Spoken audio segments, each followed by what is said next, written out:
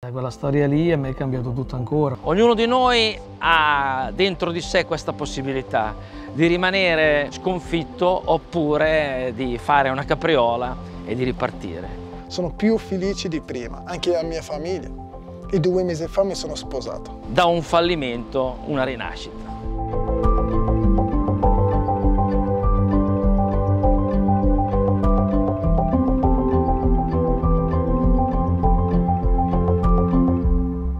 Perché Homo Faber? Cosa? Homo Faber perché è uomo al lavoro, un uomo che lavora e un uomo che riprende in mano la dignità di sé. Ho fatto una prima richiesta e non sono stato preso.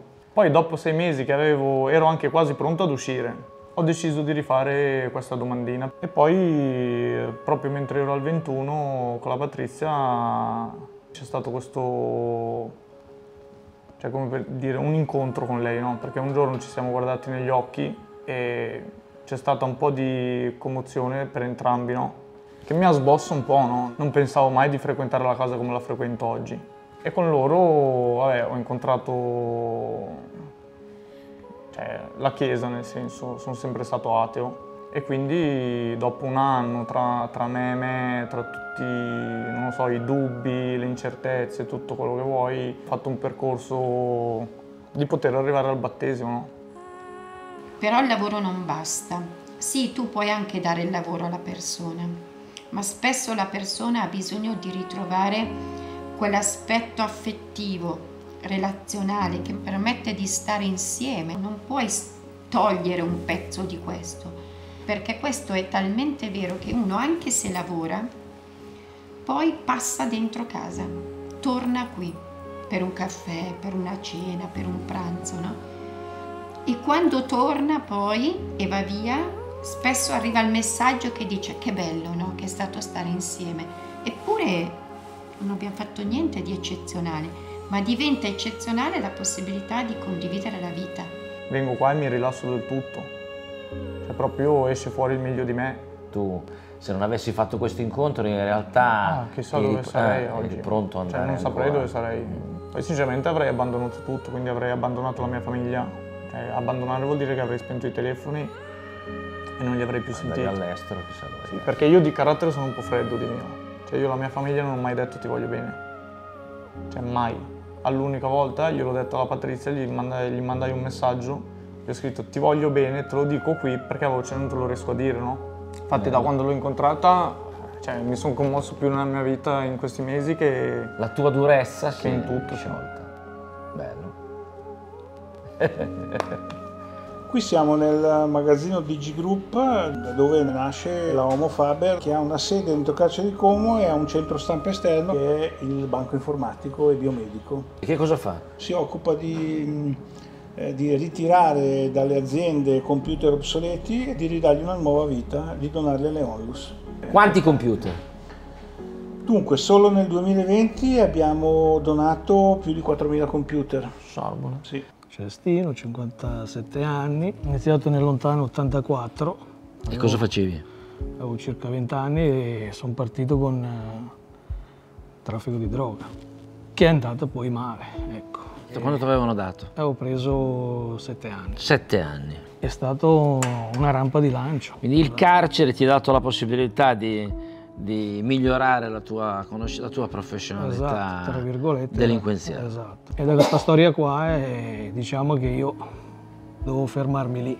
Che lavoro facevi? Prima facevo sì, come un muratore, impresa edile e praticamente ero diventato l'uso di quello per per riciclare denaro. E c'è stata una seconda caduta con un'altra condanna? Con un'altra condanna e rientro in carcere nel 2011 e in cella con me c'era una persona che mi dice ascolta visto che non hai neanche poi tanto adesso da, da finire da scontare ti manca due o tre anni se vuoi c'è giù un centro che io sto andando tutti i giorni se vuoi ti faccio fare un colloquio con Patrizia Colombo cioè, da, da, quella storia lì a me è cambiato tutto ancora. Tu oggi hai finito la tua Io oggi condanna, ho finito. Cosa fai adesso? Faccio l'operaio e, e, ad oggi, cara grazie, perché ripeto, io con tutto quello che avevo alle mie spalle, con tutto quello che eh, sarei ricaduto in un attimo. Tu vieni da dove? Io vengo dal Marocco, Come ti chiami? Okita Noreddin.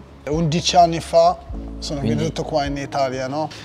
Quando sono venuto sono andato dalla mia zia e un giorno bussavo, mi apre la porta, tipo così, mi ha detto cosa vuoi? No, mi ha detto tu la casa qua non ce l'hai più. Cioè ti ha buttato fuori casa? Sì, e sì, perché? sì, e senza motivo. Comunque lì è stato il cambiamento della mia vita. Avevo 15 euro in tasca, lì sono partito, andato a Milano per trovare gli amici che possono darmi la mano. E un giorno sono arrivati sul tavolo una montagna di polvere bianca. Sì, cocaina. Sì. Spacciavano? E io non ho capito che è cocaina, la prima volta che vedevo era quella. E ho detto, guarda, se vuoi venire con noi, vieni. E sinceramente non ci ho pensato due volte. È passato un po' di tempo e sono entrati la polizia alle 6 del mattino e hanno portato via tutti. A me mi hanno fatto solo la foto, poi sono rimasto lì, a casa. E da lì sono partito anch'io. E un giorno è arrivato il mio turno che mi hanno arrestato anche Ti a hanno arrestato? E sono stato condannato a sei anni e quattro mesi. La prima notte era incredibile, non la dimenticherò mai in carcere. Sono Paura. entrato paura, angoscia, tristezza. Il mio pensiero è andato subito alla mia mamma. E subito ho reso conto di quello che avevo fatto. Il secondo anno perché andavo anche lì a scuola dentro il carcere e passavo davanti al centro stampa. E mi dice un assistente, guarda, perché non fai la domandina e entri al centro stampa? E ho fatto colloquio con Patrizia, mi ha preso. Un giorno c'era un ospite al centro stampa esterno e abbiamo parlato del perdono. E parlava un ragazzo che diceva, guarda, io sono stato perdonato da mia mamma e la sua mamma faceva la badante, prendeva poca soldi e andava fino a come trovarlo, poi io sono andato fuori testa. Ma come fai a perdonare te stesso se la tua mamma di qua di là e lì mi sono scoppiato, anzi pianto tanto e subito mi ha abbracciato la patria. E quell'abbraccio che mi ha- Ti ha cambiato? sì, mi ha cambiato la vita.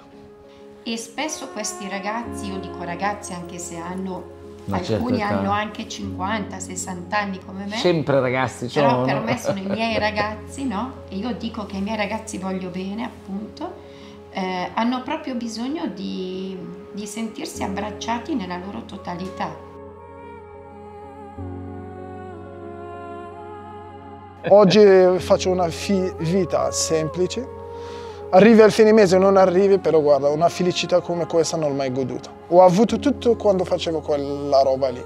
I soldi ne avevi a stufo. Ma guarda, mm, no- no, se ti dico una bugia, le pesavamo con la bilancia i soldi. Adesso hai finito la tua condanna. Sì, ho finito, 2019. E Adesso cosa fai?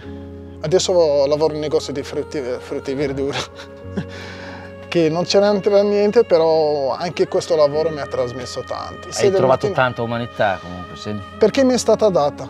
Perché hai ricevuto tanto e Ho quindi ricevuto tanto, anche quell'abbraccio lì, che era diverso da tutti quegli abbracci nella mia vita. Io dono fino ad ora e donerò quello che riesco gratuitamente, guarda. dare. Bello, l'abbraccio è. Adesso ci abbracciamo. Se non avessi passato questa esperienza, io sarei solamente, come dire, piena di quello che io sono, mentre io sono fatta di, di un altro, no? E questo altro è quello che mi ha permesso di venire fuori da lì.